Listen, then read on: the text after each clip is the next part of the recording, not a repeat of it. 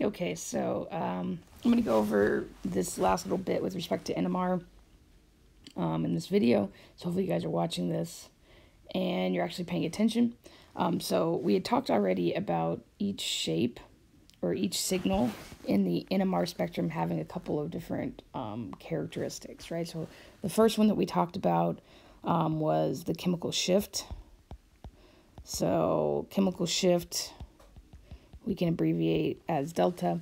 This had to do with the overall magnetic field that each various proton felt, right? And this had to do with um, inductive effects, inductive, as well as that diamagnetic anisotropy, right? So the presence of pi bonds, etc. Okay, so that was going to give us an idea of where the proton was at, what type of electronic environment, was it near um, electronegative atoms, etc. Okay, the second characteristic that we talked about was the integration. Integration, and again, this was the area under the curve right? And so this was going to give us some indication of the actual number of protons that were giving rise to the signal, right? So um, we can integrate under every signal and essentially know how many protons are responsible for creating that signal, um, which is very, very helpful, okay? So this last one, or this last characteristic of each signal in the NMR spectra is something called multiplicity, um, or what we're going to also call um, spin-spin coupling or spin-spin splitting, right? And this is going to have to do with the overall shape of our signal, right? So this is probably the most important information that we can come away from with respect to an NMR signal because what this is going to do is it's going to tell us about the other protons that are nearby our proton in our signal, okay? And hopefully I can explain what I mean by that but this is going to give us a good indication of who is nearby um, each proton that we're dealing with in our NMR spectrum so that we can essentially piece together the overall structure of the molecule, okay? All right, so first off, let's talk about what I mean by shape.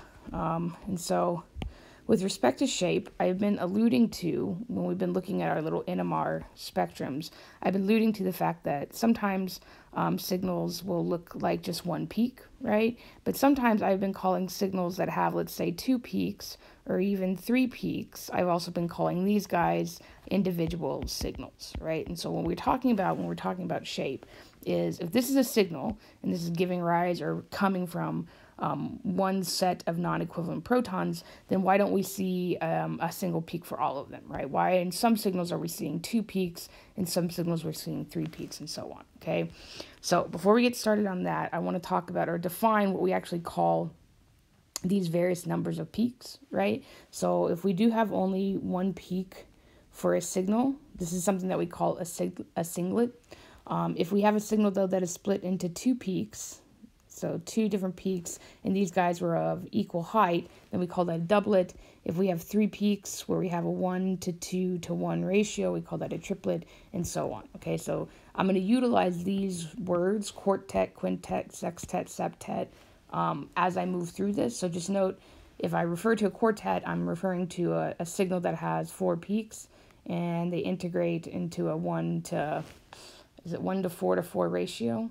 I think. Yeah, but just note that's what I'm meaning by quartet, quintet, sextet, septet, etc. Okay. All right. So now the question is, what is going to take a sig- a signal in the NMR spectrum and turn it into something like a doublet or a triplet, etc.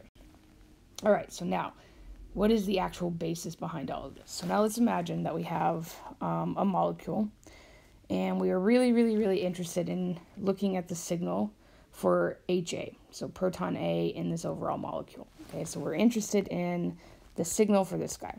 Okay, and again, its chemical shift is going to be determined by the types of atoms, um, electronegative atoms that it's around, um, also by the pi electron that it's around, etc. So that's going to be, you know, determined in terms of chemical shift. Okay, now let's imagine that we're, you know, doing our little NMR, and we've got our magnet, and it's being applied to HA, and we know that HA is going to split into its alpha or beta spin states, right? And that difference in energy is going to essentially determine the chemical shift, right?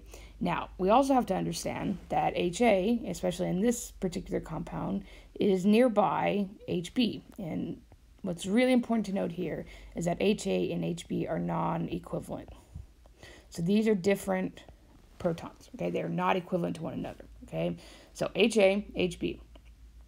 All right, we're still interested in looking at the signal of HA, right? But we've applied our magnetic field now, and we know that HB has its own little magnetic field itself, right? So when we apply that magnetic field, HB can either be, um, let's say, the alpha spin state, right? So we can either have its magnetic field in line with the magnetic field that we've applied, or it could have a beta spin state. It can be against and opposing the field that we've applied. So this would be our alpha, and this will be our beta, right? And the minute we apply that magnetic field, HB is going to take on one of those two states, alpha or beta, okay?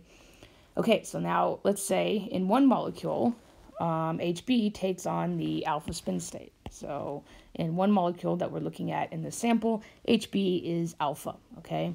Now, that is its own little magnetic field, right? That is its own little magnet, it's its own little magnetic field. And because of that, HA is going to feel that tiny little magnetic field that HB has now taken on, okay?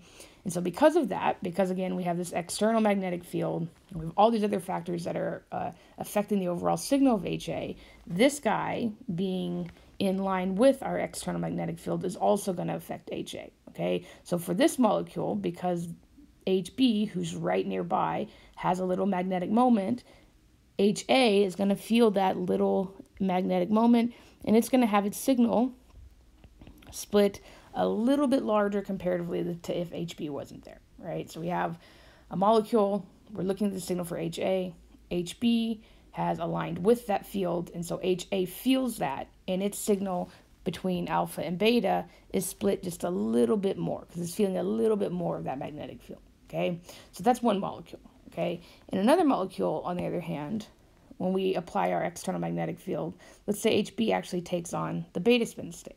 Right, so for this guy, um, because HB took on that beta spin state, HA feels the presence of that beta spin state, right? Feels that opposing magnetic field. And because of that, HA doesn't feel as strong as a magnetic field, right? So its um, alpha beta spin state energy is going to be a little bit smaller comparatively, okay?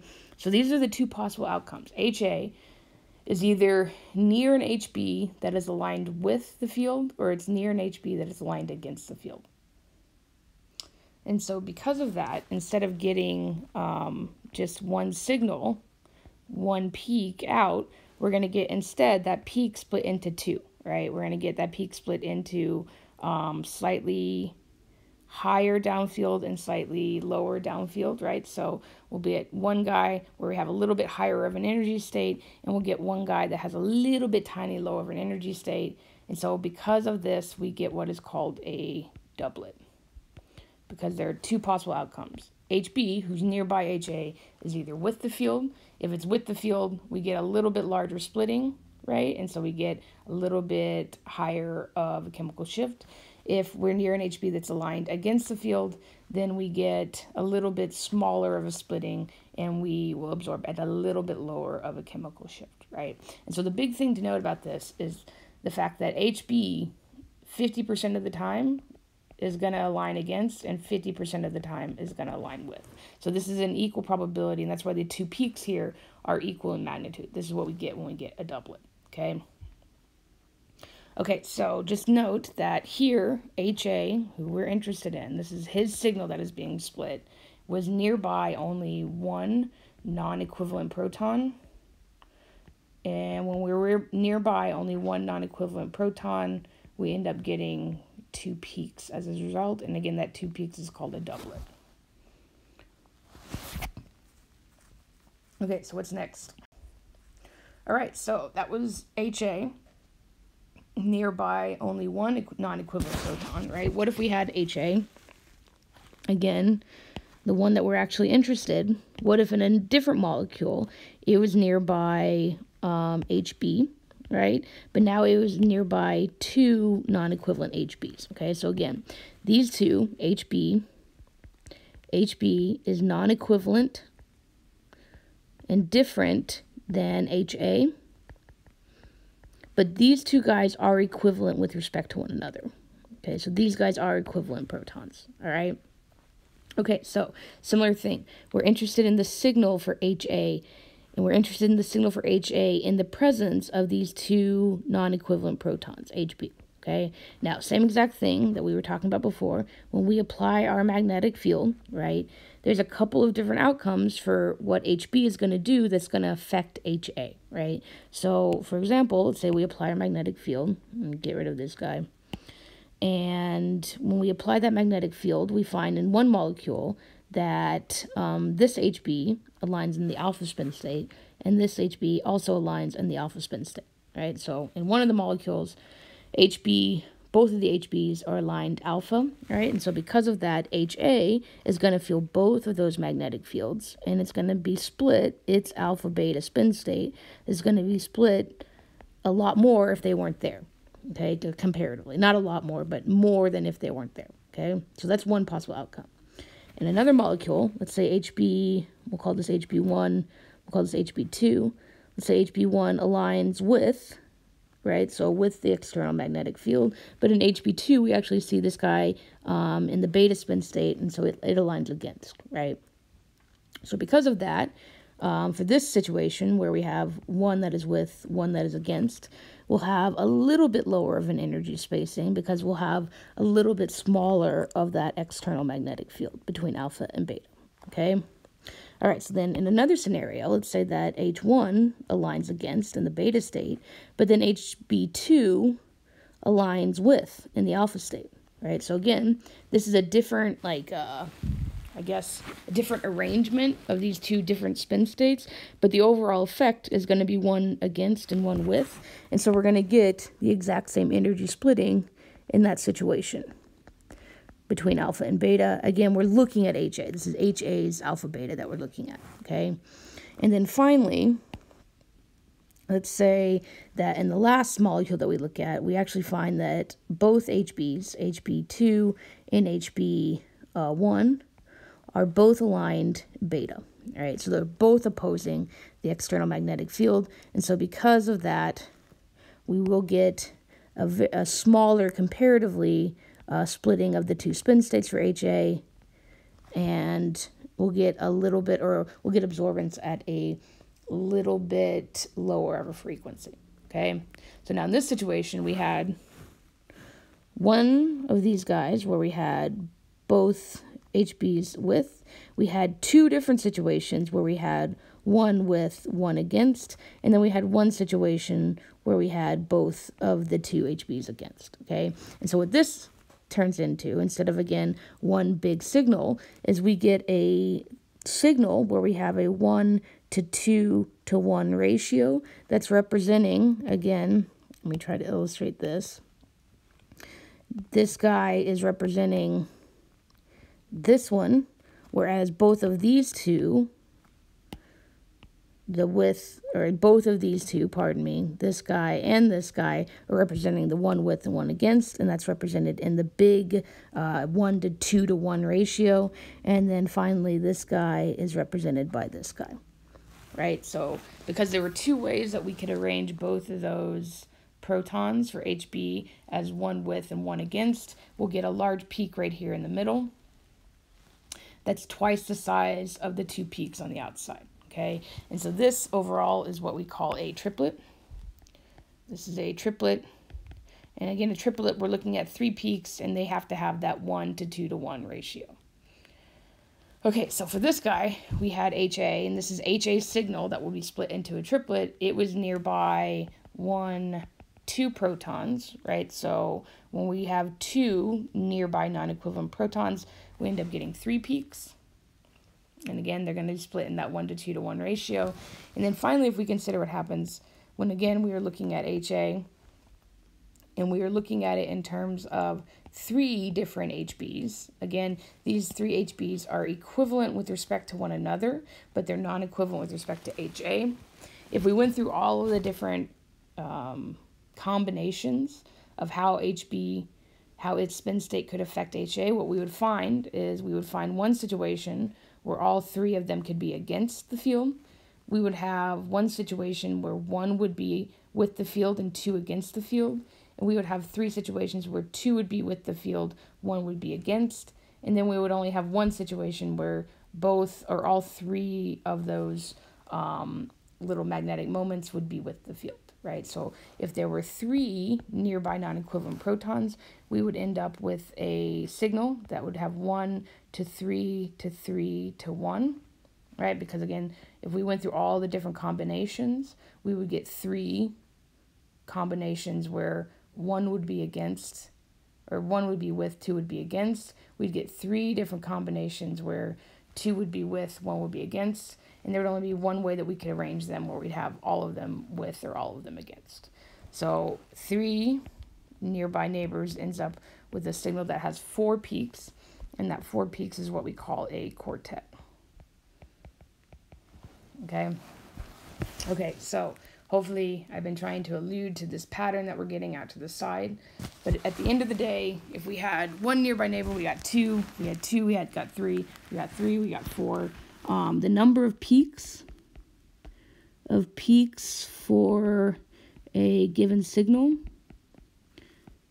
is going to follow what we call the n plus 1 rule, where n is the number of nearby non-equivalent protons. I'm going to define what I mean by nearby in a second. Non-equivalent, let's just write this well. Non-equivalent protons. Okay. Okay, so nearby non-equivalent protons if we want to know how many peaks our signal is going to be split into, we need to count the number of nearby non-equivalent protons, and then we need to add one to it, okay? Okay, so a couple things to note. This n plus one rule, or this splitting, or what we're going to call this multiplicity, has a couple names. It's something that's called spin, spin uh, coupling. So these protons couple together, that's why we get this overall effect. It's also called spin-spin splitting because the overall effect, or what we see in the NMR spectrum, is the actual splitting of the signal. Now, a couple important things to note about it. You have you're only going to see this spin-spin coupling, spin-spin splitting when the protons are non-equivalent with respect to one another. If you have equivalent protons, equivalent protons are not going to split each other. You're only going to get one signal from equivalent protons. Okay, so this has to, it's only is going to occur, we're only going to see this splitting pattern when we're dealing with non-equivalent protons that are nearby. Okay, number two, what do I mean by nearby? So I'll say nearby or neighbor, neighbor protons. What we mean by that is that you're only going to see splitting between protons that are two to three sigma bonds away. That's a big characteristic thing that you need to know, okay? Um, so, for example, let's say that I had a molecule here where I had a proton, proton A, let's say, and it was nearby proton B. And again, the most important thing with respect to this is that these are non-equivalent. So these are non-equivalent, okay? Now, A with respect to B is only one two sigma bonds away. So we would see splitting here. There would be a split a splitting pattern. Okay. This is what we would call um, geminal protons as well because they're on the same carbon. So they count, they're like, they're Gemini, they're twins, they come from the same carbon. Okay, another situation where you would see splitting is if we had something like HA here and it was nearby HB here. Okay, so these again are non-equivalent. We're looking at whether or not they're going to actually split each other. They're going to couple with each other. If we count the number of sigma bonds between HA and C, we have one, we've got two, we've got three. So this we would also see splitting. So for both of these situations, you would see splitting, okay? Now, a situation where you wouldn't see splitting is where you have HA and HB is way over here. Okay, so if we count the number of sigma bonds, we've got one, two, three, four. So because this is four sigma bonds away, you will not see splitting here. So this is no splitting. No splitting in situations like these. Okay, or five or six or however many far apart they are. Okay. Okay, so spin spin coupling, spin spin splitting. It's only going to occur when we are two to three sigma bonds away from each other. And then also, I do give you the list of the uh, multiplicity of the peaks, so doublets, triplets, quartets, and the actual integration of the um, different components of each signal, right? So in the triplet, it was a 1 to 2 to 1 ratio. In the quartet, that was 1 to 3 to 3 to 1. We didn't go over what happens when there are four or five or six neighboring protons, um, but just note that it follows a kind of general pattern. I forget what this is, if this is like Pascal's triangle or something. I think it is. There's like a mathematical pattern that it eventually follows that I don't know, obviously, at this point in time. But just note, you're looking for quintet, you're looking for like a peak nearby a peak that's bigger than it, nearby a central peak, and then they go back out, right? So I'll show you what I mean by all of these in a second. Okay, so now we're going to do an example, and then we're going to go through a practice problem. Um, so in this example, we want to determine the multiplicity for each signal in the following molecule. Okay, so again, the first step in doing any of this is determining the number of signals in the molecule. Right, so I'm going to start off on our left over here. And for NMR, for H1 NMR, proton NMR, we are looking for protons, right? And so again, with all of our bond line structures, we never draw the protons on. So I'm going to start out here at the left.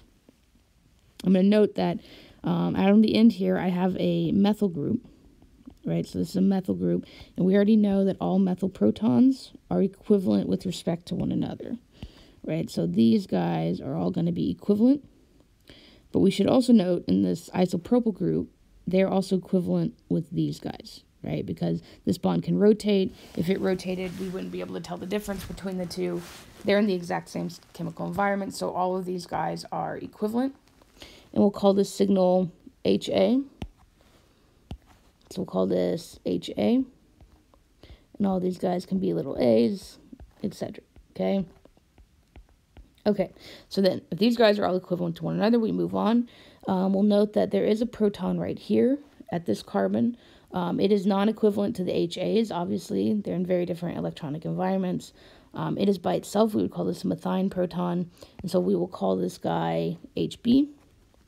So that's our second signal. As we move on to the next carbon, there are um, no protons here, so we can ignore that. We'll move on to the next carbon. Um, we note that there are two implied protons here. There is no chiral center in this molecule, right? So both of these protons are equivalent to one another. So we can go ahead and highlight them. These guys are equivalent to one another. We'll call them HC. As we move on, we've got two more protons out here.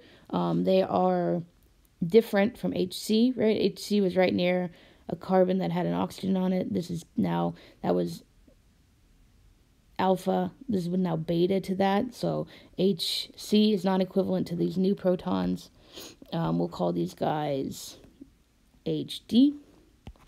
So these are unique. They're not equivalent to HC. They're HD. Um, as we move out, we can note this carbon has no protons on it. It's attached to entire methyl groups. And overall, this group on the end is called a tert-butyl group. Um, so all of these guys end as methyl groups, right? So they all have protons. And most importantly, on them, all of these guys are equivalent with respect to one another, right? So all of these guys in this tert-butyl group, these guys are all equivalent protons, okay? So we're at A, B, C, D. We'll call these guys H, E. So this will be our HE signal. Okay, so that's number one. We have to figure out how many signals we're actually going to see. Number two, now we can worry about the multiplicity of each. Okay, so we're going to start over here with HA. So HA, in considering its multiplicity, um, so note that each H here these guys are all equivalent protons. They're not going to split one another, right? So we're only concerned with the number of protons that are 2 to 3 sigma bonds from HA. Okay, so if I started, let's say, out here on this HA, so this guy, and I counted one in, and I counted one over, so that's 1, 2, and I counted this guy, this is 3. This is the only proton, HB is the only proton that is within 2 to 3 sigma bonds from all of these HAs. Okay, so because of that, the only thing that is going to split this signal for HA is just HB. okay? And again, we're going to follow that n plus 1 rule, where n is the number of nearby non-equivalent protons. That is only satisfied by this guy. We're three sigma bonds away.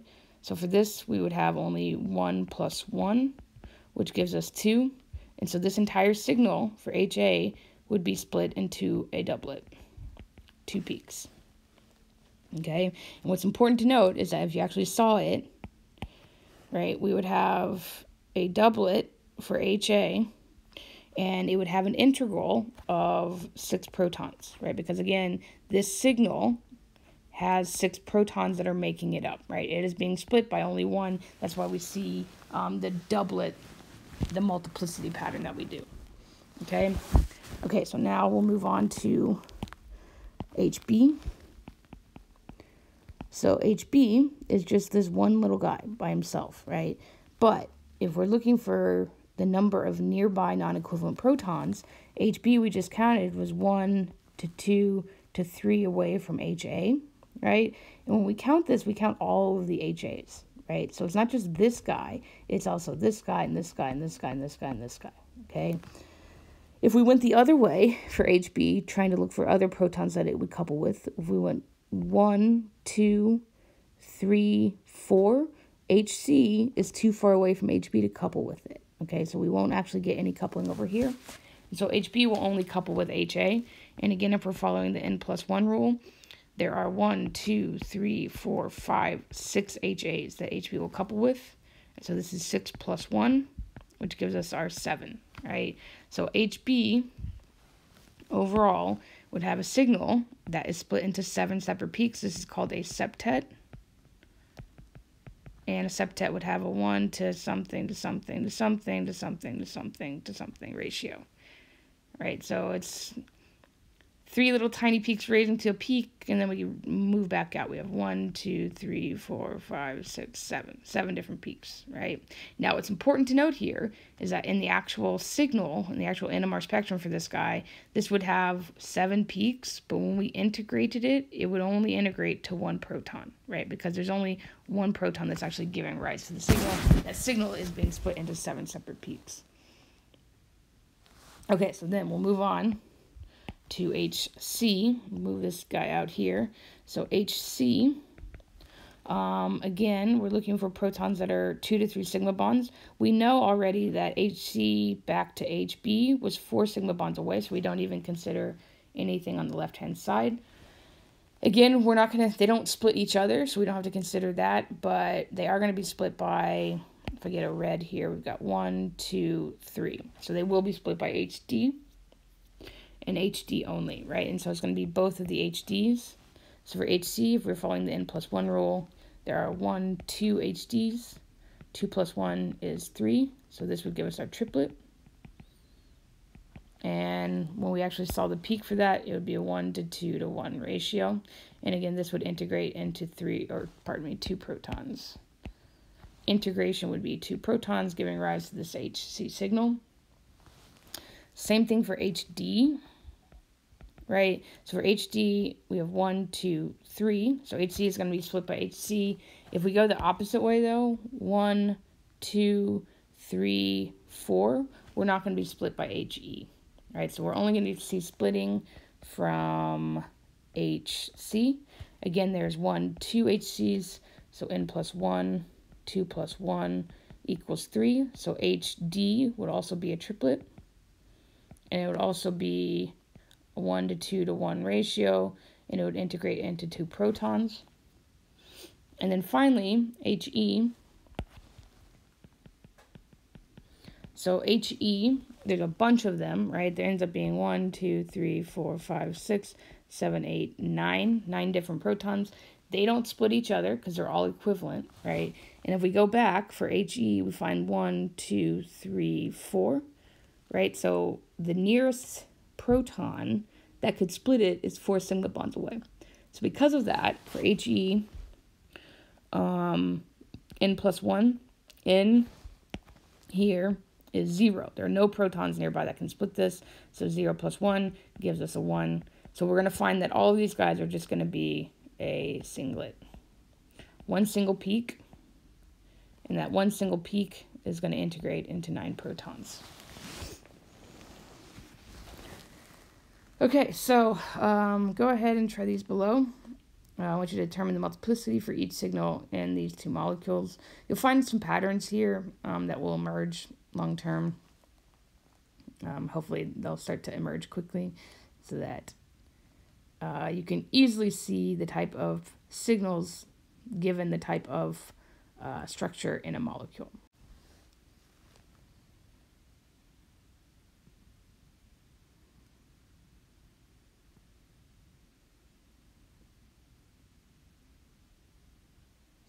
Okay, so we'll start over here with the first one on this guy. Um, so we'll start out left. We do have protons out here. These is uh, these are methyl protons, so these guys are all going to be equivalent with respect to one another. And again, we'll call this signal HA. Um, as we move in at the next carbon, there's no protons. At this carbon, there are protons. There are two. So we'll call these guys, there's no chiral center in the molecule, so that's nice. We'll call these guys HB. So BHB. There's an oxygen, and then we move on to two more protons. Again, they are different from the original HB, and they are equivalent with respect to one another. So we'll call these guys HC. And then as we move out to the end, we have a methyl group there's no axis of symmetry in this molecule. There's no plane of symmetry. And so these guys will all be equivalent to one another. And we'll call them HD. Let's go ahead and write over that again. Okay, so now multiplicity for each signal. All right, we're going to start with HA. So HA, again, for multiplicity, so I usually abbreviate this M, we're looking for um, nearby protons that are non-equivalent, that are within two to three sigma bonds away. So if we start by counting in, we have one sigma bond, we've got two sigma bonds, we've got three sigma bonds, and then we've got, at the very end here, four sigma bonds, okay? So because the near closest nearby neighbor protons are four sigma bonds away, there will be no splitting with um, HB. They will not couple with one another. Um, so there's no splitting there, like I just said. Um, and because equivalent protons, all these HAs don't split one another. Um, if we go to our n plus one, one rule, HA n plus 1, they're 0 plus 1. So we're going to get a peak of 1 or a singlet. Okay, so finally, so next we move on to HB. So HB we know is not going to be coupled by HA because we've already counted 1 to 2 to 3 to 4. So we're not going to get any splitting on this side. If we go the other way, we go 1 to 2 to 3 to 4. We're also not going to see splitting. So here for HB, we have n plus 1, so 0 plus 1. We're also going to get a singlet. So then as we move out to HC, HC is nearby somebody. We have one, two, three. So HC will be split by HD. There's one, two, three HDs. So for HC, we've got 3 plus 1, which gives us 4. This is a quartet. And then finally for HD, we know HD will get split 1, 2, 3. We'll get split by HC. There's 1, 2, HCs. So for HD, in terms of multiplicity, we get 2 plus 1, which gives us a triplet.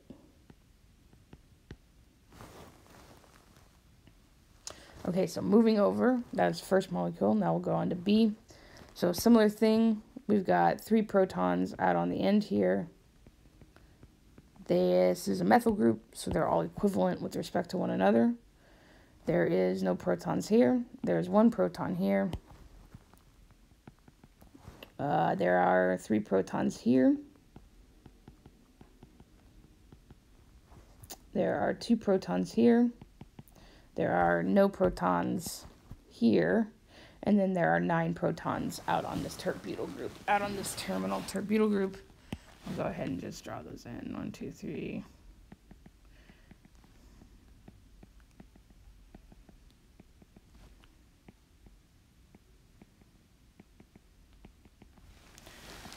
Okay, so that is the signals. So now let's talk about the splitting pattern that we could expect. Um, we'll start out to the left. So these guys we'll call HA. They're not going to split one another. And then if we look for nearby neighbors, we've got one, two, three, four would be the next nearby neighbor. So because of that, this methyl group HA is isolated. And we would expect a 0 plus 1, which would give us a singlet. So these guys are a singlet. As we move on, we'll go to this guy next. So uh, this is a methine proton. It's by itself. But now there's something that's different that's going to happen here, right? So comparatively, if we count in, we've got one. So we've got one, two, three. Ugh.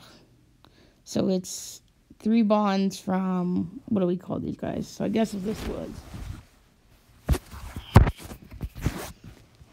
I guess if we call this guy HB, these guys would be HCs.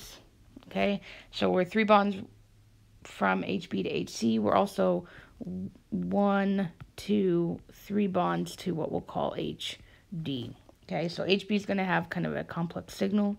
We'll talk about this in a second. In general, though, you're going to count these guys as the same, that they're going to have the same overall effect. So we've got one, two, three, four, five that are going to split HB. So this is 5 plus 1, which gives us 6. So this is a sextet. That's HB. If we move on to HC, so HC is only going to be, we've got 1, 2, 3. It's only going to be split by this 1 HB, right? So we have 1 plus 1, which gives us 2. HC is going to be a doublet. And then same thing for HD. If we move HD up here, right? So HD, if we count, we've got one, two, three. If we go the other way, one, two, three, four, doesn't count. So HD will also just be one plus one, which is two, which is a doublet. And then finally, as we get out here, all of these tert butyl protons all of these guys, all of these guys. We'll call these HE. Um, we already counted, trying to count in for HD. So this was one, two, three, four. So there is nobody that's going to split HE. So because of that, all nine of those protons would be one peak. They would be a singlet.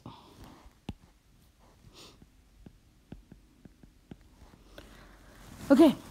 All right. Hopefully that is clear uh, with respect to actual problems. Um, we're going to show in a second what happened here with HB, um, how sometimes this can get obscured a little bit because it was being split by both, by two different sets of non-equivalent protons. Um, then after that, we'll move into how we can actually utilize this. Okay, so we're going to cover a couple um, just kind of cleanup topics just to um, finish out this idea behind coupling. All right, so when you have protons that are coupling in a molecule, um, they're going to have what we call a coupling constant, or another word for that is a J value, okay? And it's essentially going to be a measure of how much um, their interaction is actually splitting the signal or splitting the overall peaks, okay? Um, so, for example, if we have an ethyl group here where we have um, HAs. HAs are equivalent, um, and we also have HBs. HBs are equivalent, they're both splitting each other. HA and HB are going to share a coupling constant, right? And we call that, or we abbreviate that J, and because it's between these two protons, we'll call this JAB. It's the coupling constant between um, the HAs and HBs, okay? All right, so if we were looking at the splitting pattern that we would expect here, um, HA which is a methylene group, is being split by one, two, three protons in HB. So 3 plus 1 gives us 4. This is a quartet. So for HA, we're going to expect a quartet, right, which is what we get at whatever part per million. And then for HB, HB is being split by A. There are only two A's, so 2 plus 1 is 3. So for HB, we could expect a triplet. Okay, now where does this whole J value or this coupling constant come in? So this is our HA signal, this is our HB signal, right? So this J value is the actual measure of um, how far apart these peaks are, right? So this JAB, or this coupling constant, is going to define the distance between the peaks and the overall split pattern, right? So it's going to be the same for all of the splitting for each signal, okay? We're also going to find the exact same J value, exact same distance for the signal for HB as well, right? So this distance, right, between peaks is going to be the same for protons that are splitting one another, okay? So this distance is equal to this distance over here because HA and HB are interacting and they're sharing that exact same um, J value or coupling constant, okay? Okay, so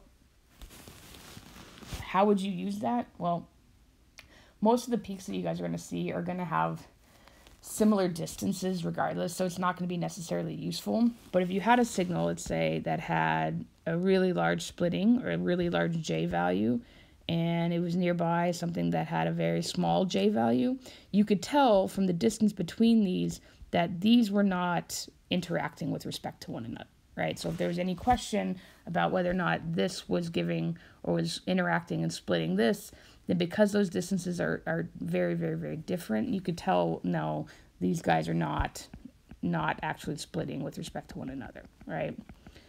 Another thing to note um, is that these J values are measured in units of frequency, and they're going to be constant regardless of the operating frequency of the instrument that you use, right? So they're going to fall in um, between about 0 to about 20 hertz depending on the protons. And again, this is not going to change if we use a higher operating frequency instrument. Okay, so we use a stronger magnet. Now, what's the big point behind that? Well, this is why we like to use higher operating frequency instruments because this J value is constant. Let's say, for example, we had a situation where the J value here was, um, let's say, 7 hertz right? If we were looking at that that coupling in let's say a 60 megahertz instrument, so one of those really low end, um, very low operating frequency instruments, that J value ends up being about a tenth of a delta unit, right? So let me write that tenth of a delta unit. So because of that, these signals start to overlap with respect to one another, and so you can't make out the entire spectrum. If you were to take that exact same a coupling constant and use like let's say a 300 megahertz instrument then 7 hertz in a 300 megahertz instrument is only like you know a, a 1% of a delta unit right? So because of that these signals actually get um, to be resolved and they're not going to overlap with respect to one another. So this is one of those big things about why a higher operating frequency instrument is better. It's because in, in lower operating frequency instruments, these really high J values are going to overlap and we're not going to be able to discern all of the signals because of that. So the higher the operating frequency, the less um, the less a fraction of a delta unit these J values take up, and so we can essentially look and see all of the various uh, peaks in the spectrum. Okay. Okay. Okay, so um, with respect to some of these um, different types of structures, we can find that certain groups are going to have very specific patterns in the NMR spectrum, right? So, for example, um, if we were to draw out an ethyl group, so carbon, carbon, and we were to look at the different protons on an ethyl group, so let's say these guys are HA, and then these guys on the end, we'll call these HB.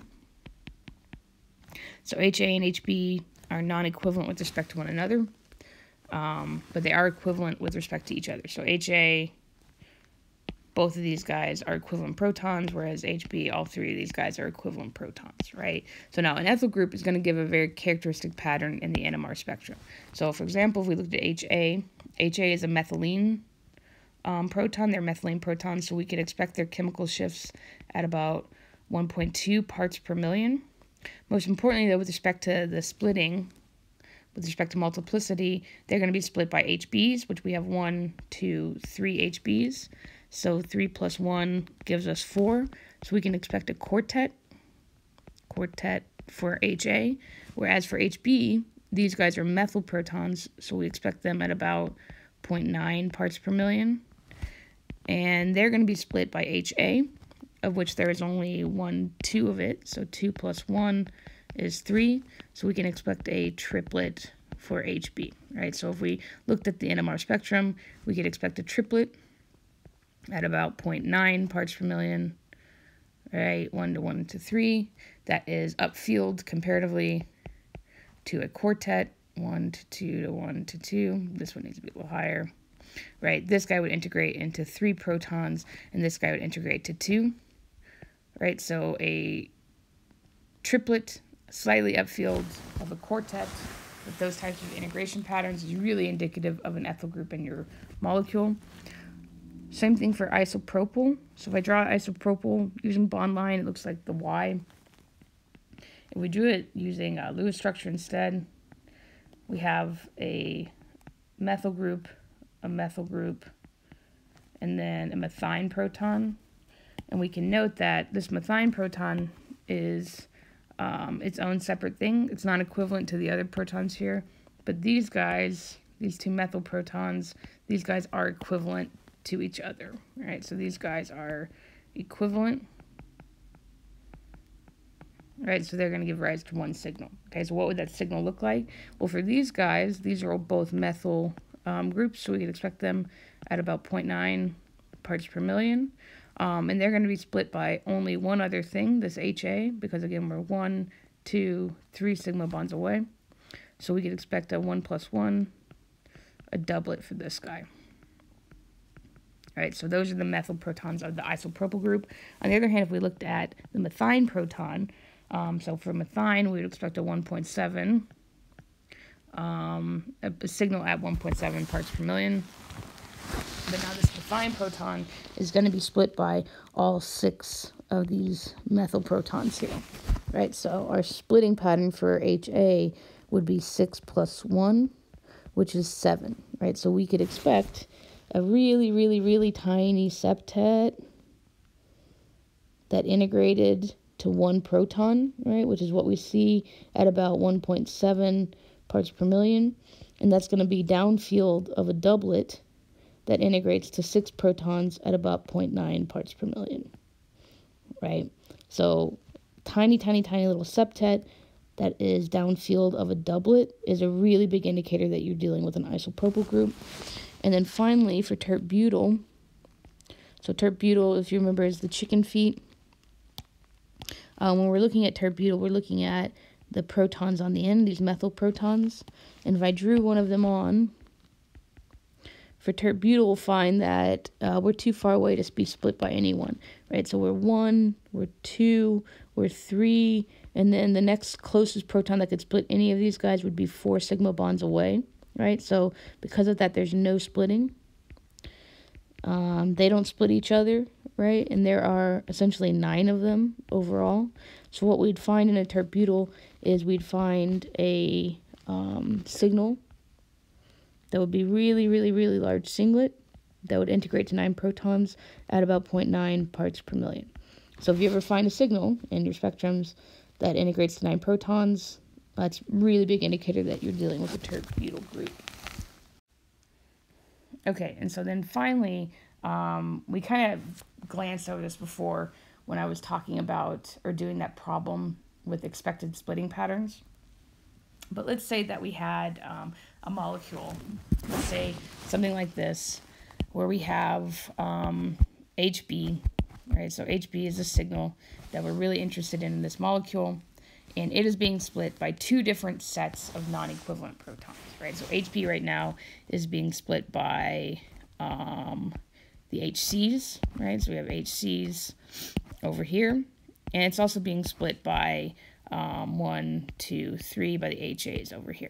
Okay, so beforehand, when we are looking at predicting the splitting pattern for HB, I just said we'll count um, count HC and HA as the same and uh, just add them up, right? So if we were to do that, we'd say one, two, three, four, five, six, or no, five, pardon me.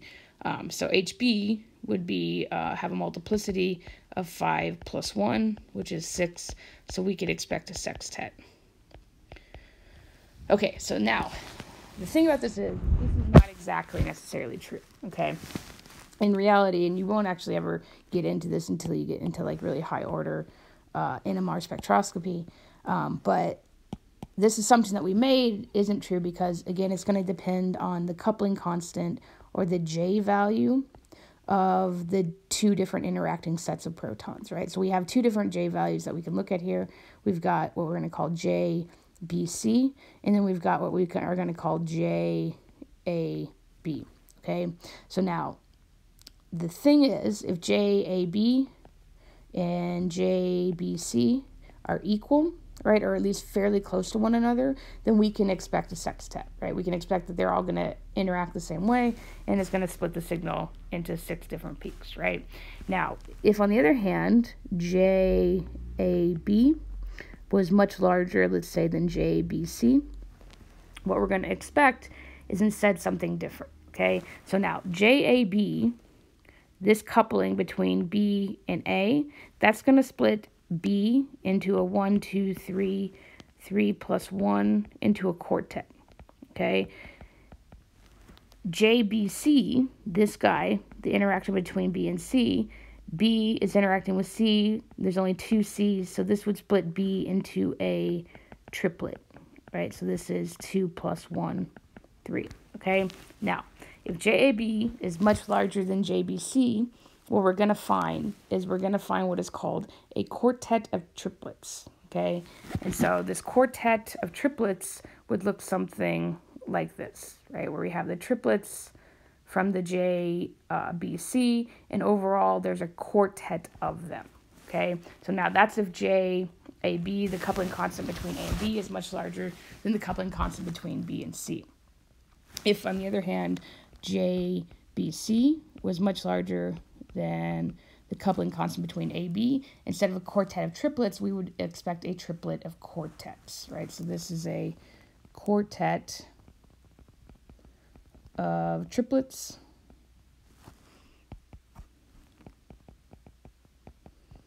This, on the other hand, is a triplet of quartets. And you can actually see this in the NMR spectrum if these uh, coupling constants are fairly different with respect to one another. Okay, so again, if AB was bigger, it would, you would expect to be split into a quartet of triplets, where if BC is bigger, you expect to be split into a triplet of quartets. Okay, so what really happens, especially with a lot of these just like methyl and methylene type protons, is that they're fairly similar with respect to one another. So we can just count them as the same and expect a sextet instead. Also, sometimes what will really happen is we'll get this really ugly multiplet, right? So what I mean by multiplet is like a bunch of signals that you can't necessarily discern what their um, like their splitting pattern is. Um, so yes, for our intents and purposes, we're going to assume, especially for a lot of these just plain methyl and methylene protons, that these guys are equal and we can just treat them all the same. We'll expect a sextet for HB. But just note that that's not always the case, and it does depend on the value of the coupling constant between um, the two different sets of non-equivalent protons. Okay, so then finally, um, there's two other little cases that I wanted to bring up, and I'm not going to explain why this is, um, like why we actually see this. I'm just going to tell you what to expect. Um, so we've been looking at uh, splitting patterns, right? We've been looking at multiplicities. Um, and I just want to mention at the end here that there are some protons that don't actually undergo any type of splitting or coupling, right? So a good example of that, or the first example that we introduce you to, is alcohol protons, right? So um, this molecule over here is ethanol, right, if we drew out ethanol, we have um, an O, an H, and then we've got two H's here, and then we've got three H's here.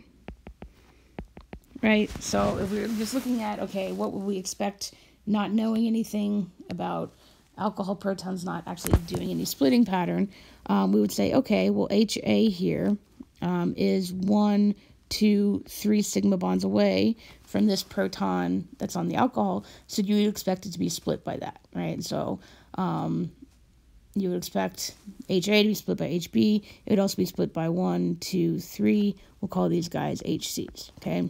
And so because of that, you say one, two, three, four, uh, it's going to be split into a quintet, right? Now, unfortunately, you would think that and you would be wrong because these protons on alcohols, so these guys, do not split any other signal.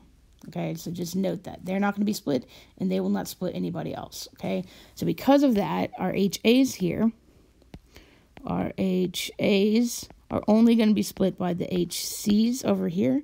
So we could expect this guy um, to be 3 plus 1, which is 4. So HA will be a quartet. And then um, HC, HC we could expect to be um, 2 plus 1, a triplet.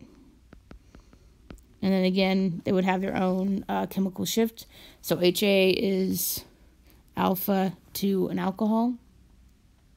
Yeah, alpha to an alcohol, we added on 2.5. So this would be 1.2 plus 2.5. We could expect this about 3.7 parts per million. And then for HC, this is beta to an alcohol. So it's a methyl group, 0.9 plus 1 fifth of 2.5. So 0.5 equals 1.4. And then I also said, well, alcohol protons, they end up being at about 2 to 5, depending.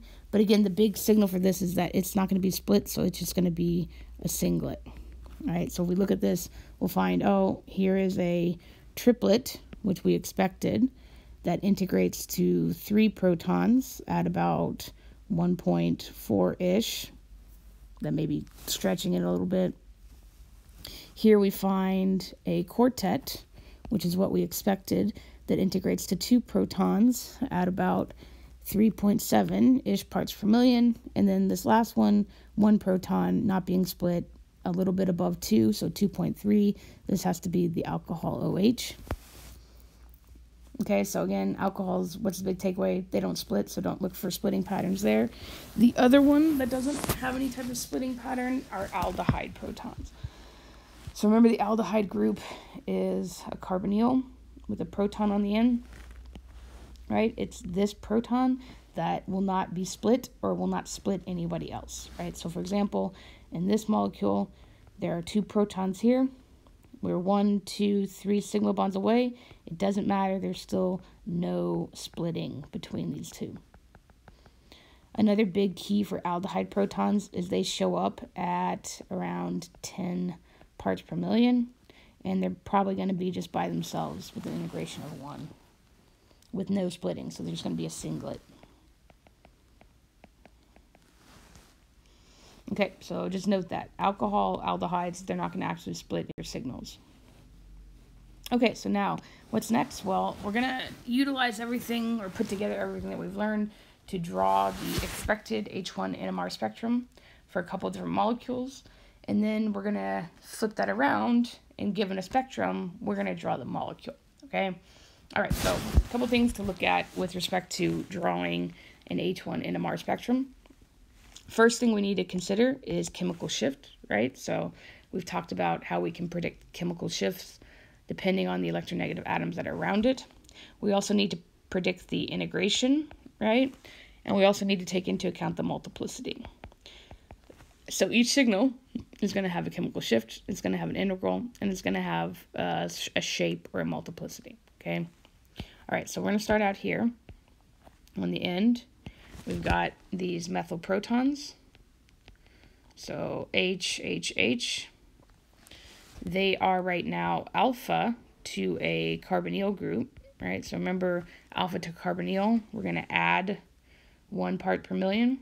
So for these guys, we'll call these A. For chemical shift, it's a methyl, so 0.9. But again, it is alpha to a carbonyl group, so we end up with 1.9 part per million. So we look at the integration here. Uh, there's one, two, three of them. So we can expect this to be an integral of 3. And then finally, for multiplicity, we are 1, 2, 3, very, very, very far away, right? So we're not going to see any splitting pattern here. So because of that, we are 0 plus 1, or a singlet. Okay, so now we'll move over. There's no protons here. Uh, no protons here. We do get a proton here. All right, so this is our nice methine proton. So for this guy, we'll call this HB. HB for chemical shift, it's methine, so we'll have 1.7 to begin with. Now it is alpha to an ester, right? So this is alpha to an ester. So to that, we're going to add on 3. So we end up with 4.7 parts per million. So that's that. For integration, there's only one of them, so this will integrate to one proton. And now this is that kind of special pattern that you can tell. This is a tert-butyl proton at the end. So for multiplicity, this guy's going to get split by all three of these guys. Not tert-butyl, this is isopropyl. Alright, so these guys are all different. We'll call them C's. C's, C's, C's. HB is within three sigma bonds away from all the C's. So there are six C's. Six plus one is seven. This is going to be that characteristic uh, septet with an integral of one. Okay. And then finally, so that's HB. Finally, we'll move on to HC. So these guys are all equivalent with respect to one another. Um, so for HC, we'll start with chemical shift. They are all methyl groups.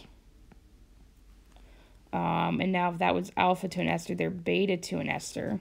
So we're going to add on one-fifth of that 3. Uh, so one-fifth of 0.6 is 0 0.6, or yeah, one-fifth of 3 is 0.6. So we add those together, we get 1.5 parts per million. And then for integration, there are six of them. So there'll be six protons. And then for multiplicity, they're all equivalent to one another, so they're not going to split each other. They're only going to be split by HB, right? So we have 1 plus 1. This is that characteristic doublet that has an integral of 6, right? So now we're going to draw this. We're going to attempt to draw this. Um, we're going to start with the farthest upfield signal, which is our doublet at 1.5. So I'm going to go ahead and put 1.5 here. I'm going to draw a doublet as best I can. I'm going to move down to the next in line, which is a singlet at 1.9. So we'll draw 1.9 here. Draw a singlet there. And then as we move out, the last signal we have is this 4.7. So we can move on down. May not be the best estimate here of where 4.7 is, but here we're going to draw a septet. So I'm going to go ahead and just connect this guy. We've got a 1 to 2 to 3 to 10 to 10. Okay.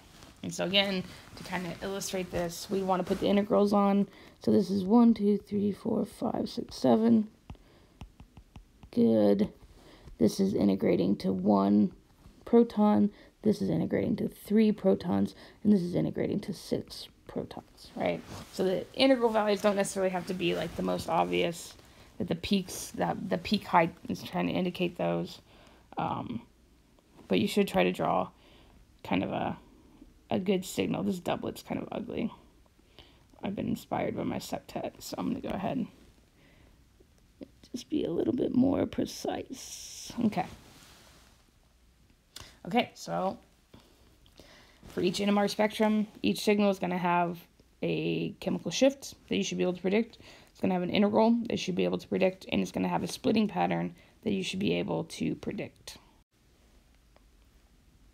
Okay, so now we're going to flip that, and instead of drawing the um, NMR spectrum, we're going to take a spectrum, we're going to take the chemical formula for the molecule, and we're going to try to reconstruct what the molecule actually looks like. Because again, this is the purpose of NMR spectroscopy. It's taking an NMR spectrum, taking the molecular formula, taking other little bits of information, and actually determining what the structure of the molecule is, okay? Okay, so now in doing this, we're going to utilize um, this guy where we have the C9H10O and it's given proton NMR spectrum as our example. I'm going to walk you through how I go about trying to um, piece these things together. Okay, so there are going to be a couple of steps that you guys are supposed to follow in taking uh, an NMR and taking a chemical formula and reconstructing the um, structure for it. The first step I tell you to do is determine the HDI. So you may think to yourself, well, what's an HDI? I haven't actually defined that, so we're going to define that first. Um, the second, you're going to analyze um, the integrals, specifically um, the integral values here with respect to the actual chemical formula, and look for symmetry. You're then going to try to make fragments out of the various um, multiplicities in the integral values that we've been given, and then you're going to try to assemble those fragments into the overall structure. Okay, so again, I'm going to hopefully illustrate that as I go through um, this example.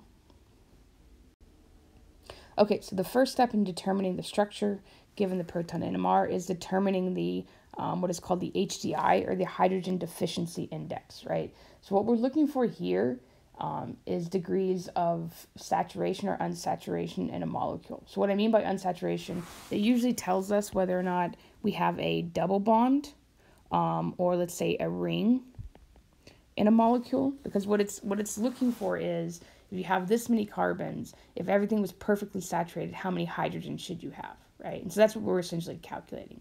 Um, how many hydrogens are we lacking given that we have a certain amount of carbons, okay? So I'm not going to go into like all the various aspects of this.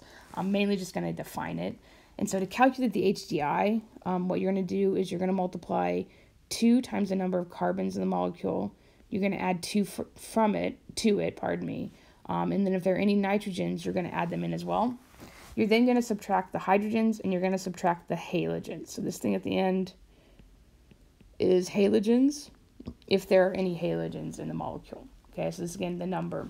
With that, all of these guys things in the parentheses, you're then going to divide that by 2. Okay, and if you get an HDI that's equal to 0, then the molecule is fully saturated, meaning there are no double bonds, there's no rings. Um, if you get an HDI of 1, that's going to tell you that there is either a double bond or a ring. Um, and then if you get an HDI of 2, there's a lot of different permutations of HDIs of 2, right? That could be two double bonds, that could be a triple bond, it could be two rings or a ring and a double bond. So the higher the value of HDI, the less inf- information we're actually going to get from calculating the HDI. So hopefully, you know, if you're calculating HDI, you're going to end up with an HDI of 1, maybe an HDI of 2. The only other helpful one is that if you get an HDI that's greater than 4, this usually indicates the presence of an aromatic ring. And so HDI of 4 coupled with some other things is usually going to indicate the presence of this guy. Greater than 4, pardon me. Okay, so let's go ahead and calculate the HDI for this guy. All right, so we have carbon 9H10O. Um, so for HDI, we're going to take 1 half, um, 2 times the number of carbons. So number of carbons here is 9 uh, plus 2. And then we're going to subtract from it the number of hydrogens, right? So number of hydrogens is 10. This is number of carbons. All the other stuff in that formula was um, like nitrogen. We don't have nitrogen here. It was the halogens. We don't have any halogens in here. So this is really all we need to account for is the number of carbons and the number of hydrogens. So when we do this, we get 1 half 2 times 9 is 18 plus 2, which is 20. 20 minus 10 gives us 1 half of 10, which gives us 5. So we have an HDI right now of 5. And again, I said, well, that's not very helpful, except if we have an HDI that is greater than 4. That's really indicative that we have um, an aromatic ring present. Um, and so because of that, we're going to assume that there's probably an aromatic ring in this molecule, okay? Number two, with that, we're going to start to look at our uh, chemical shifts in our, in our proton NMR signal and then also the integrals for them, right? So remember, um, these integrals can sometimes be given to you as actual values, or or sometimes they're going to give you like the actual number, like oh one proton or two protons, etc. Here we have four different signals, right? And the first signal integrates to 10, the second to 54, the third to 21, and the fourth to 22. To take these values and make them into actual numbers of protons, we're going to divide all of them by the lowest number. So this is 10.2, this is 10.2, and then divided by 10.2. What we end up with is 1, so 1 proton for this signal. We end up with 5 protons for this signal. Um, for this guy, we'll end up with 2 protons, and then for this guy, we'll also end up with 2 protons, okay? So what I mean by looking for symmetry now is when I add up all of these guys, I end up with 10 protons altogether, which is the exact number of protons that I have in my molecule right? So if instead I had added these up and ended up with 10 and there had been, let's say, 20, then that would have been a big indicator that, oh, this molecule is symmetric. Um, and so I need to take in that into account. Okay, we don't have to worry about that though. We have 10 protons and we only have 10 to get rid of here. So each proton is giving rise to one of these signals. Okay, so now we're going to look at the actual overall um, little bits that we have here. So a couple things to note. This thing right in the middle, so it's clear to me, um, but it probably isn't clear to you. Anytime you get, again, what I'm going to call a multiplet, where it's really unclear, like they're kind of, I mean, what is that, like a quartet, a quintet, we can't really tell, um, that hovers about seven parts per million, that is another really big indicator that we have an aromatic ring. Okay, so this has to do with that diamagnetic anisotropy. We also already had a big indicator via our HDI of 5 that this is an aromatic ring. So that's going to be one of our little um, fragments, right? We have an aromatic ring.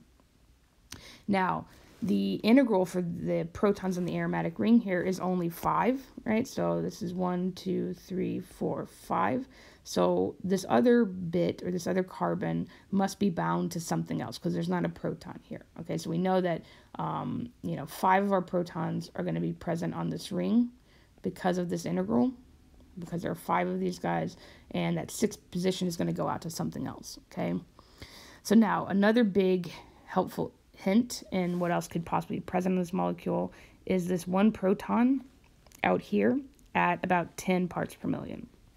Right, so we go back to that diamagnetic diamagnetic anisotropy, um, we talked about how the aldehyde proton ends up about 10, and it's fairly indicative that there's an aldehyde proton, right? And again, another helpful hint here is the fact that this integrates to one proton, okay?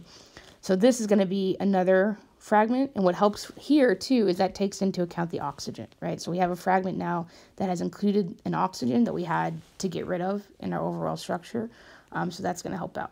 Okay, so now this is good. We have at this point in time accounted for one, two, three, four, five, six, seven carbons, and we have nine to get rid of, so there are two more. We've also counted for um, one, two, three, four, five, six um, hydrogens, and there are 10 to get rid of, so we have four more. And then we've accounted for the oxygen, so that guy's gone. Okay. All right, so now if we come back down here, we have two triplets that um, integrate to two. Okay, so again, if I just looked at one of these guys, so let's say this triplet, right?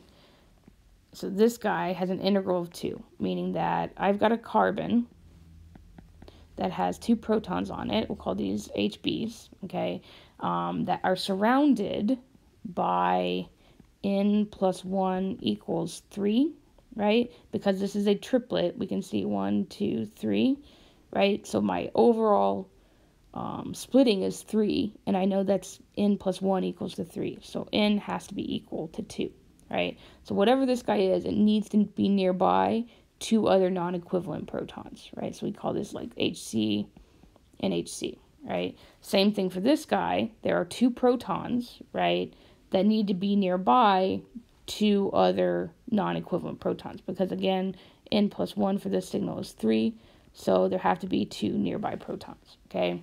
So because of that, I could propose that this fragment is a methylene group that's nearby another methylene group, right? So this little bit together could be the last little bit to my structure, right? So we'll call this HB, I think that's what I called it down here, HB, HC, HC, right? HC, which would probably be, we'll call this guy, is going to be near that aldehyde. So aldehydes have to end structures because um, hydrogen can't bind with anything else, right? So we knew that we had this aldehyde group. We knew it was going to be a terminal position. What am I doing? This guy. Yeah, so this guy has to be an aldehyde group, and we know it has to be terminal.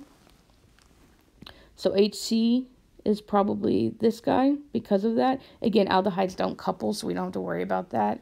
And then HB, on the other hand, would probably be the thing that's attached to the aromatic ring, right? because being near a carbonyl would shift it about two, one, uh, I don't know. I forget what there's a little.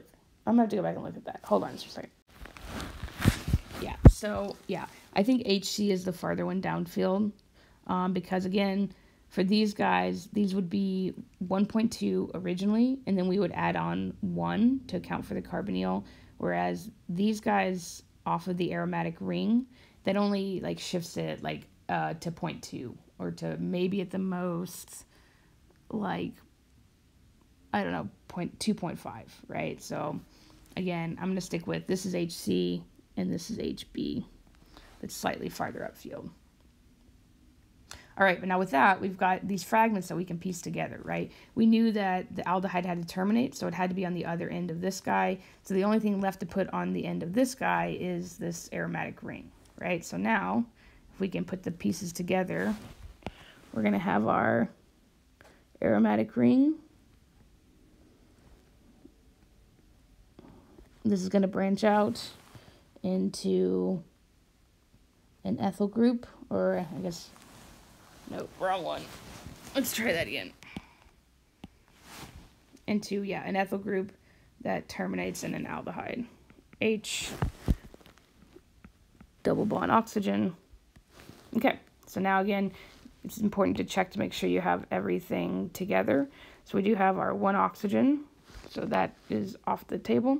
We've got one, two, three, four, five, six, seven, eight, nine carbons, which is what we had before. For hydrogens, we've got one, two, three, four, five, six, seven, eight, nine, ten. Okay, so maybe if I drew this better, it would look better. Mm -mm -mm -mm. Hydrogen to this guy to this guy. Right, and again, a good check after you put the pieces together is to go back, right, and say, okay, if this was my molecule, what would be the expected spectrum that I could produce from this? Okay. Okay, so now given that, I want you to go ahead and try this one on your own, right? So now this guy, again, I can already define, has this crazy uh, multiplet down here at about 7, right? So this is what I would define as a multiplet. Um, all the other signals are nice and clear though. So we've got a triplet here. We've got a triplet here. And then we've got a singlet here. And the singlet's at about two parts per million. I've given you the integral values, and so I want you to try to determine the structure of the C8H10O molecule given the proton NMR spectrum. Video, which ideally you guys watch okay? Um, so in the video, we went over a bunch, kind of like the most relevant topic with respect to NMR spectroscopy, which deals with that spin-spin coupling and that multiplicity in our signals, right? Splitting our signals into multiple peaks, okay?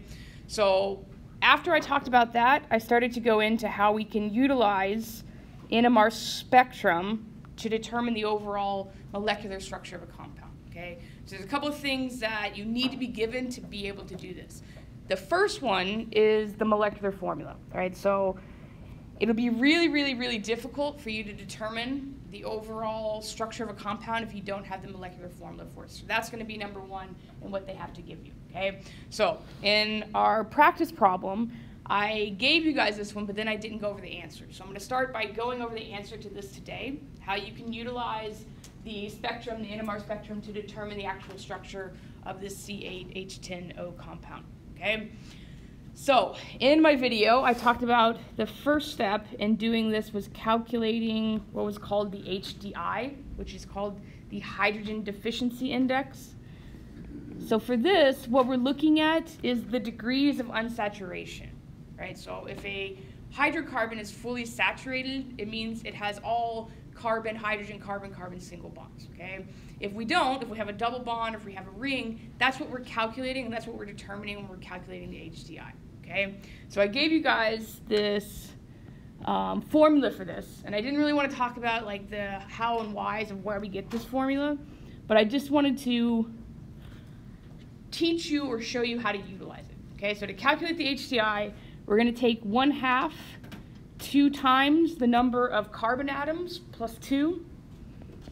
If there is a nitrogen atom, we're going to add in however many nitrogen atoms there are. We're then going to subtract from that all of the hydrogen as well as any halogen. So X always stood for a halogen, okay? So now this is the entire formula.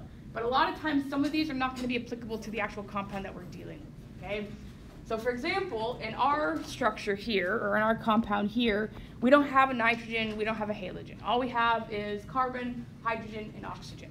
And for the HDI, we ignore oxygen entirely, so we don't even have to consider that, okay? So we're gonna go ahead and plug in our values here to calculate our HDI for this compound. So we get one half of two times eight, which is the number of carbons in the compound, plus two, and then we're going to subtract from that the number of hydrogens, which is 10. Okay, so 2 times 8 is 16, plus 2 is 18, minus 10 is 8, times 1 half gives us an HDI equal to 4. Okay? Okay, so this is unfortunate, or kind of unfortunate, right? With respect to HDI, it becomes less helpful if we increase our overall HDI, right? So an HDI of 1 tells us there's either a double bond or a ring, an HDI of 2 can be a bunch of different things, and HDI of 3 can be a lot of different things. The only helpful little hint that we're going to get from this is the fact that we have an HDI of 4. And usually if we have an HDI that is greater or equal to 4, that is indicative of a benzene ring, right? So that is indicative of a nice conjugated ring system okay? And again, that's if you get an HDI that is greater than or equal to 4. So that's number one, okay? Number two, what we're going to do is we're going to look at the integral values to tell us um, whether or not we have any type of symmetry in the molecule or whether or not these signals are actually unique and they're going to distinct different regions of the compound, okay? Now, for this spectrum, they don't give us the nice easily done integrals, right? We're actually going to have to determine or reduce these numbers to determine the actual values themselves, okay? So I have an integral of 45, an integral of 18, 19, and 9. What do I need to divide all these guys by to reduce them to their nearest whole number value? The lowest common denominator. Right, so the lowest one, we're going to divide everyone by. So we'll divide everyone by 9.1, divide everyone by 9.1, divide everyone by 9.1. So for this guy, we get out 1, a 2, a 2, and a 5. Okay? So again, that's telling us how many protons are actually giving rise to the signal. And we can go ahead and write them over each individual signal like so. Okay? Okay, so if we have 5 and a 2 and a 2 and a 1, what does that add up to overall? 16? Wait, time. 5, 2, 2, 1? Uh, 10. 10, right? And so because all of our integrals add up to the actual number of hydrogens that are in the compound, we don't have any symmetry in this compound. These are going to actually be distinct regions of the compound, okay? That means there's no like axis of symmetry or, or plane of symmetry, mirror symmetry, anything like that, okay? Okay, so then after we look at the integrals, we're going to start to look at each individual signal and try to make fragments from them, okay? So again, we already know that that HDI of 4 told us that there's probably going to be a benzene ring in here. Another really big indicator in this spectrum is this really ugly multiplet. So this is something that we would call a multiplet at about 7 parts per million. If you get a really ugly squiggle of stuff that's at about 7 parts per million, having an HDI greater than or equal to 4, that's a big, big, big indicator that this is our benzene ring.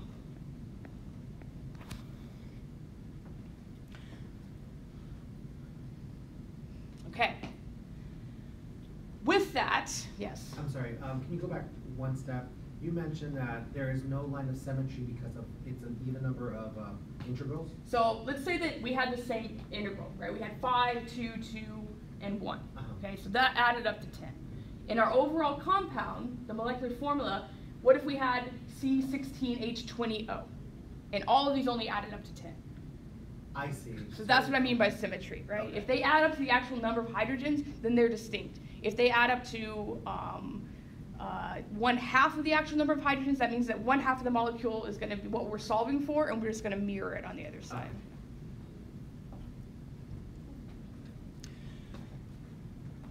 Okay, so multiplet with the HDI greater than or equal to 4, big indicator is benzene. Another big indicator is that that integral is 5, right? How many different hydrogens or how many different positions in theory would there be on a benzene ring? So if we put everyone out, we have one, two, three, four, five, right? In theory, if it was just benzene, there'd be six, but we know there has to be more because it has to go somewhere, right? So this guy is our five, and we're gonna figure out what's on the other side, what's attached to the rest of this. Sorry, Oh. I missed that. Shut up. Could you say it again, No. so now we're just determining the shapes of each uh, multiplexes. No, so, hold on, yeah. So now we're figuring out what's attached to this, which is gonna essentially be these guys over here. Like what springs off of that benzene. Okay, so this is what I mean by fragments. This is a fragment. It's a piece of our molecule. Now we need to figure out what the other fragments are so that we can piece them together like a puzzle. All right, so now I'm gonna go over to the other side. If I look at my next signal, which we'll call this guy, right? This is a triplet, right? So a triplet that integrates to two protons. So this guy is a triplet that integrates to two protons. Those two protons are going to be equivalent to one another. So right now, I can already draw the fact that I have a hydrogen and a hydrogen attached to a carbon. These are the two protons that are giving rise to this signal. The fact that it's a triplet tells me who's nearby or how many protons are nearby that are non-equivalent, right? So again, if I'm using n plus 1 and getting 3, what is n? What is the number of nearby non-equivalent protons? How many integers you have? So right here, if n plus 1 is equal to 3 for this guy, what is n? Two. 2, right? So this tells me that there are two nearby non-equivalent protons, okay? Same thing for this guy. It's another integral of 2, meaning that I have another piece of this guy. So there's two protons giving rise to this signal. Again, though, it's a triplet, right? So this is also a triplet. So n plus 1 is equal to 3. How many nearby non-equivalent protons are there for this? Also two. Also 2, okay? Finally, we get to the end, right? The end, we have a singlet, right? A singlet by itself, singlet that is at a chemical shift at about 2. The other thing to note about this molecule, what else is in here that we haven't talked about? We talked about some, some of the carbons. If we think about that too right now, there are eight carbons. We've got one, two, three, four, five, six, Now we have 7 and 8 accounted for. So what is the other atom that we haven't dealt with yet? Oxygen. Oxygen, okay? So this is the big indicator. I talked about some of these protons on distinct functional groups not having any type of coupling, right? So never being split and never splitting anyone else. There were only two examples that I gave of that. What was one of them? Uh, OH, alcohol, alcohols, right? Alcohols and aldehydes. And for this guy, because there is, because we've already kind of gotten rid of the HDI of 4 with the benzene, this is a big indicator that this is the proton on an, on an alcohol. Again, because it's at 2, alcohols show up about 2 to 5, whereas aldehydes would be all the way out to 10 parts per million. Okay? Okay, so those are my pieces. Right? I've got a benzene that's got to attach to something else, that's got to attach to something else, that's got to end in an alcohol, because an alcohol has to terminate the molecule. It can't keep going because nothing else can attach to hydrogen. Okay, so now how should I piece this together to get my overall compound? So we know we're going to start with benzene, or our aromatic compound. This is going to branch off to a carbon, most likely, right? Can't end in an alcohol. How many other carbons do I have? I have one carbon here. I have one carbon here, right? So one carbon, one carbon that terminates in our OH. And if we look at this and say that this is what we'll call HA, and these guys are what we call HB, if I were to predict the signal for HB, what would I get? What would be the multiplicity of it? How many nearby non-equivalent protons are within two to three sigma bonds from those guys? One, two. two. Just two, right? What would they give? Uh, a triplet, right? Same thing for this guy. How many nearby non-equivalent protons are within two to three sigma bonds away from this? two. It's two. What would you expect to see? A triplet, right? A little bit farther upfield compared to this guy because this is attached directly to an alcohol. It's alpha to an alcohol, whereas this guy is beta to an alcohol. Okay, what do we get? We get a triplet at three, a triplet at four-ish, which is what we'd expect.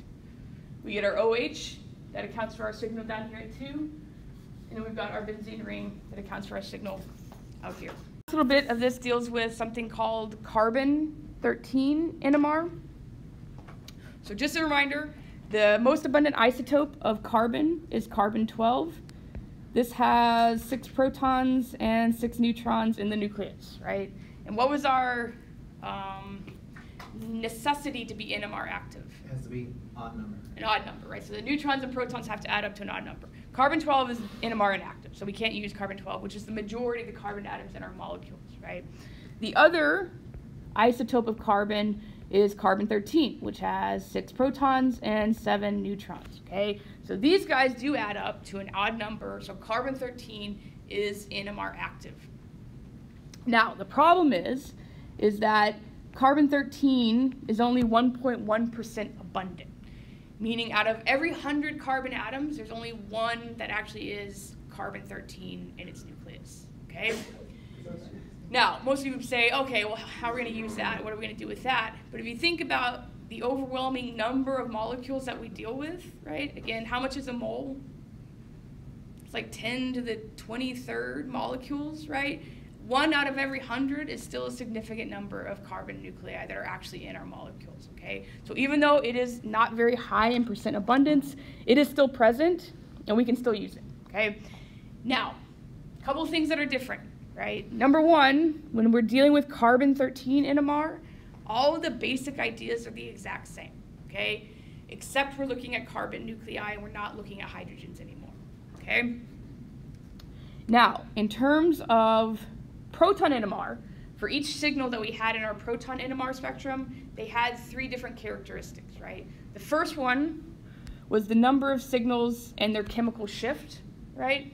The second was their integral value, and the third was their spin-spin coupling or that multiplicity, okay? That's proton NMR. For carbon-13 NMR, it's going to be much less useful because essentially we do a bunch of things to get rid of the multiplicity, so they're all just going to end up as singlets. And we also can't do anything with the integral values. So comparatively to proton NMR, carbon-13 NMR, the only thing we can really use anything out of is just the chemical shift in the actual number of signals. Okay, so this is the only thing that we're actually going to utilize in carbon-13 NMR. Another big difference for carbon-13 is if we think about proton NMR, what were kind of like the brackets for our parts per million for our chemical shifts? It was like zero all the way out to like 12-ish maybe. So carbon NMR is different. It goes from zero all the way out to 220 parts per million. So the spectrum actually looks a little bit different. It's much more spread out. But again, again, finding signals in this overall spectrum depends on the actual um, electronegative groups attached to the carbon, as well as how many double bonds, etc., are actually there. Okay, so we can expect any type of carbon that just has single bonds in between 0 and 50, anything attached to nitrogen, oxygen, or carbon-carbon triple bond between 50 and 100, and then double bonds between 100 and 150, and then double bonds to oxygen between 150 and 220. Okay, so again, it's not super informative. It really is just going to give us an idea of how many distinct carbons are in the overall molecule. Okay. Okay, so we'll go ahead and finish with this one. Again, I don't focus too much on carbon NMR um, because really the only thing that you're going to pay attention to in carbon NMR is the chemical shift. Um, and then how many signals you get, that'll tell you how many non or chemically non-equivalent carbons there are in the molecule. Um, but we're not looking at any type of splitting pattern, and we're also not looking at any integration with these guys. So the only thing that we can really obtain from a carbon-13 NMR is just predictive chemical shifts and um, the number of carbons that are uh, chemically non-equivalent. Um, so with that, we're going to go ahead and finish up on this one. So in this one, I asked you to predict the number of signals and their chemical shifts in the carbon-13 NMR spectrum for the following molecule, right? So I'm looking for number one, um, identify all of the chemically non-equivalent carbons, so number of signals. And then number two, I also want you to tell me what their approximate chemical shifts are. Um, and again, that's just going back to that chart on the previous slide, right? So for example, for um, a carbon that has a double bond to an oxygen, when I mean like approximate chemical shift, we saw that that was going to be between 1500 and 2200 ppm. And so that's that's the range that I'm kind of looking for. If you saw a carbon that had a double bond to an oxygen, you would predict approximately 15 to 2200 uh, ppm. Okay, I'm going to try this and then come back and we'll go over the answers.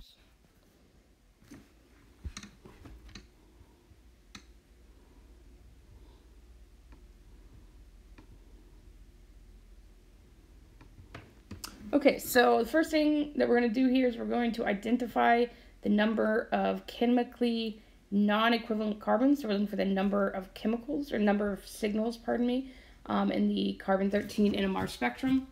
Um, so this is a little bit different and it's going to kind of, I don't know, it's going to maybe make you have to rethink what you've been looking at thus far, right? So for um, proton NMR, we're always looking at H's, we're always looking at hydrogens or protons, right? But now we're looking at carbons, right? So um, number one, I'm just going to go ahead and identify all of the carbons that I have in the molecule.